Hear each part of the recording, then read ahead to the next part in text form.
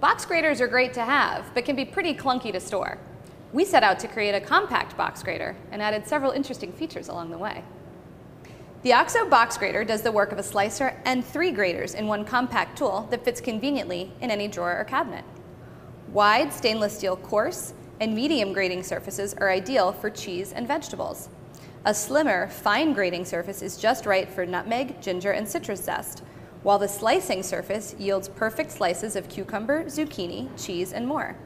The soft, comfortable, non-slip handle ensures a secure grip even when hands are wet and cushions hands during repetitive grating.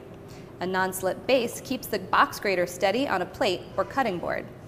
A convenient storage container with a non-slip base, measurement markings, and a lid attaches to the bottom of the grater for catching and storing freshly grated ingredients and can be inverted to store inside the grater when not in use.